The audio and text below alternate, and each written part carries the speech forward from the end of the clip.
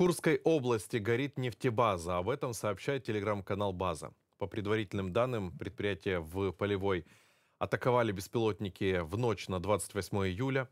В результате загорелись три резервуара. В Минобороны Российской Федерации сообщили, что якобы сбили два дрона над Курской областью и пять над Белгородской. Ситуацию на фронте Обсуждать будем с гостем нашего эфира. Сергей Брачук уже присоединяется, спикер Украинской добровольческой армии «Юг». Сергей, приветствуем вас в эфире «Фридом». Слава Украине, слава вооруженным силам. Доброе утро, коллеги. Героям слава. Сергей, э, с Покровского направления, конечно же, традиционно э, для вот последних месяцев, вероятно, давайте начнем сегодня обзор ситуации на фронте. Там действительно остается самая напряженная ситуация, но вместе с тем из, из эфира в эфир мы слышим, что так или иначе э, даже какие-то запасы, даже какие-то резервы у противника, они не могут быть неисчерпаемыми. В любом случае, любым запасом есть какой-то конец, есть какое-то завершение. И, насколько мне известно, сейчас не так уже просто ремонтировать технику определенную, особенно советского образца. Насколько это действительно в дальнейшем сможет повлиять на ситуацию на фронте и конкретно на самом сложном, на Покровском направлении? Направления? Ну, во-первых, действительно, Покровское направление даже в Донецкой операционной зоне остается самым острым, самым тяжелым и самым насыщенным по боевым столкновениям. Хотя следует отметить, что весь фронт у нас сегодня отличается не просто динамичными событиями, он э, является очень активным по интенсивности атак врага. Это касается и других направлений, южного, и э, северного, харьковского. Поэтому в любом случае Покровск — это самое острое, что сегодня происходит. Мы видим, как враг с использованием авиационной компоненты пытается продвигаться. К сожалению, есть продвижение фактически каждый день пусть э, по несколько сот метров, но это продвижение, которое обеспечивается резервами. И, кстати, хочу отметить, что эти резервы враг должен был использовать по его замыслу, это очевидно, во-первых, на других направлениях, во-вторых, наверное, все-таки немного позже, потому что того обвала фронта, о котором э, говорили россияне и которому готовили все свои действия и проводили все свои действия, на сегодня не случилось. Да, мы действительно говорим о том, что оборонная стратегическая операция Украины, которая продолжается на всех участках фронта, она ставит перед собой две цели. Две главные цели, одну из которых э, очень сложно, но пока удается достигать, это не допустить обвала фронта, несмотря на продвижение врага. А с другой стороны, мы говорим о том, что еще одна не менее важная цель это как раз уничтожение того ресурса российской армии, который э, Россия готовила для того, чтобы использовать, ну, скажем так, на наиболее э, слабых участках, как они считали, наиболее важных для них, наиболее перспективных, прежде всего в Донецкой операционной зоне. Мы видим, как э, маневрирует враг сегодня группировками войск, как враг перебрасывает резервы с других направлений на Донецкий фронт, на Донецкое направление, именно Покровский вектор. Поэтому действительно ресурсы не бесконечны. Мы видим, что сегодня э, механизированная компонента врагом снова активно э, используется. С другой стороны, мы видим, что и консервация, расконсервацию проходят сегодня те образцы техники, которые ну, вряд ли враг э, думал о том, что будет их использовать. Оборонка России, как бы Россия об этом не заявляла, сегодня не справляется с теми вызовами, которые перед ними встали в связи с э, этой войной. И то расконсервирование техники, которое происходит, тот поток советской старой техники, который идет на фронт по всем участкам, он сегодня не способен выполнить главную задачу, о которой я уже сказал, прорвать фронт.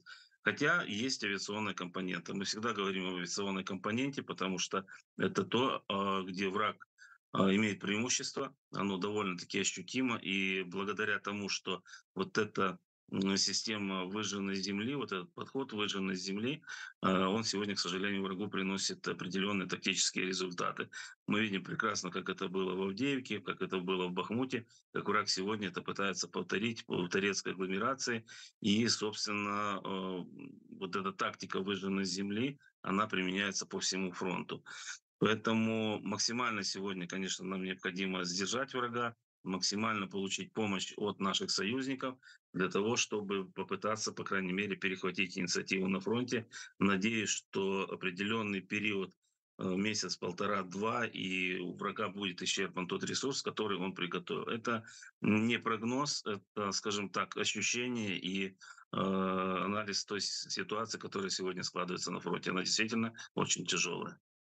О ситуации на южном направлении непосредственно, если заговорить за Работина, участились также штурмы российских оккупантов и на том направлении. Что вам известно о ситуации там?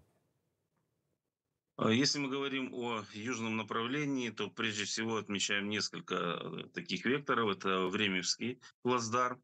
Э, враг пытается атаковать, и есть у него тактические продвижения в районе Урожайного.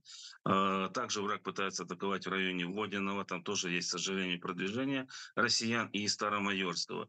Ну и, собственно, если говорить о Работинском плацдарме, тоже тактика выжженной земли.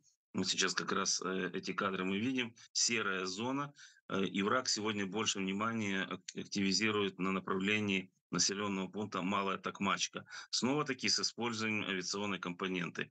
Это использование и э, авиационных ракет, э, это использование авиационных бомб, это то, что позволяет врагу превращать переднюю линию, скажем так, тем, ту, ту ситуацию, когда враг может э, пехотой уже проходить и пехотой атаковать. Но в любом случае, сегодня тут тоже не допущено прорыва.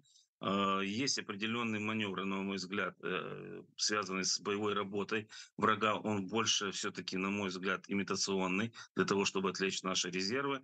Враг снова возобновил атаки на Гуляйпольском направлении. Это совсем рядом пытается атаковать в районе населенного пункта Гуляй-Поле. Э, по несколько штурмов в день с использованием механизированной компоненты, но пока э, наши позиции, они крепки, э, не допущена потеря никаких позиций, продвижения врага в этом направлении нет. Ну и, собственно, левый берег. Об этом тоже много вопросов. Все те рубежи, которые есть у нас на левом берегу, они не сданы, позиции не сданы. Это касается Приднестров... Приднепровских островов, на которых э, наши подразделения держат оборону. Э, держат оборону довольно-таки успешно, потому что продвижение у врага по левому берегу, то, на которое он рассчитывал, нет от слова вообще.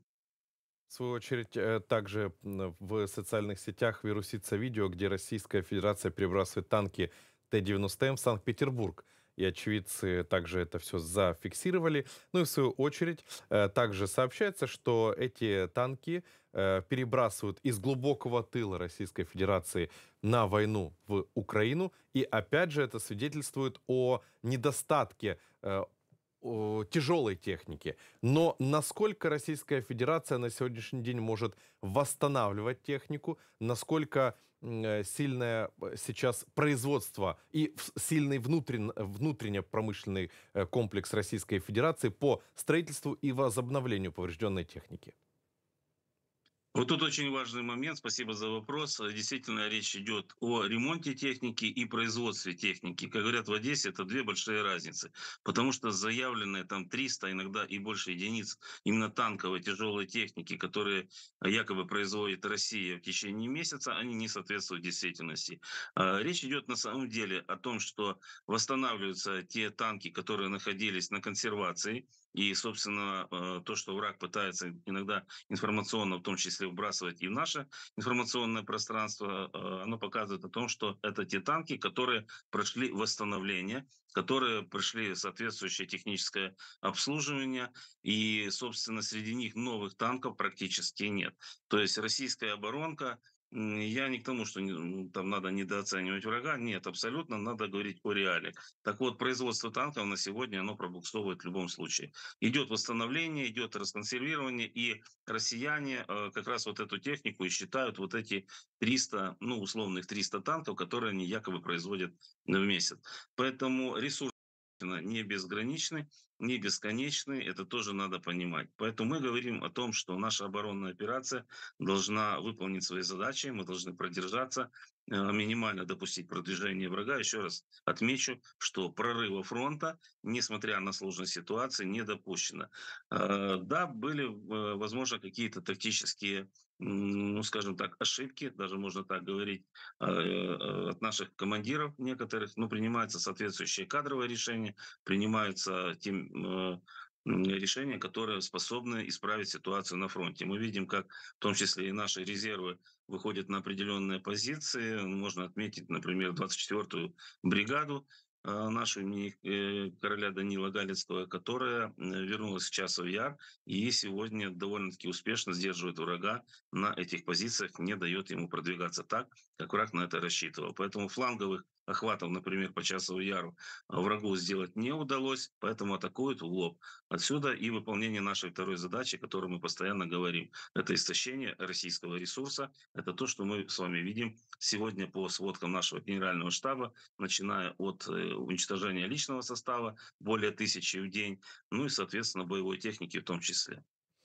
Благодарю вас, э, Сергей, за то, что вы присоединились к эфиру Freedom. Напомню Спасибо зрителям... вам, дня. Спасибо, вам все взаимно. взаимно. Сергей Брачук, спикер Украинской добровольческой армии «Юг», был с нами на связи.